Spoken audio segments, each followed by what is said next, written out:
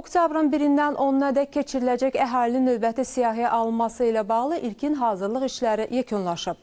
Ötən illərdəkindən fərqli olaraq bu dəfə sorğu vərəqəsinə ilk dəfə olaraq əlilliyə dair suallar da əlavə ediləcək. Ölkəmizdə əhalinin siyahıya alınması 10 ildən bir həyata keçirilir. Prosesin reallaşacağı növbəti tarix isə bu ilin oktyabrına təsadüf edir. Ölkə ərazisində 720 siyahıya alma, 6777 təlimatçı və 33907 saycı məntəqəsi yaradılıb. Vətəndaşlar əsas vərəqədə 6 sual, sorğu vərəqəsində isə köməkçi suallar da daxil olmaqla 46 sualı cavablandırmalıdırlar. Bu da onlar haqqında ətraflı məlumatların əldə edilməsinə imkan verəcək. Müstəqillik dövründə sayca üçüncü siyahılması keçiriləcəkdir.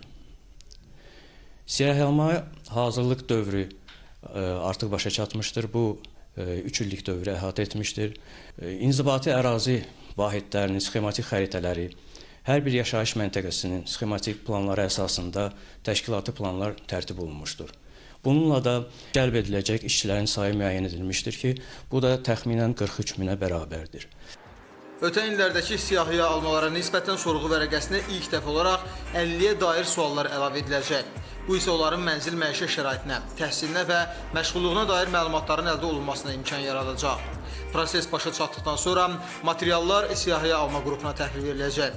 Sonrakı mərhələdə isə operatorlar vasitəsilə onların elektron məlumat sisteminə daxil edilməsi, proqram təminatı vasitəsilə məntiqi yoxlanılması prosesi başlanacaq və bu 2020-ci ilə əhatə edəcək. David Nuraşvili, Bağır Kərimov, Vüsal Qaraca, xəbərlər.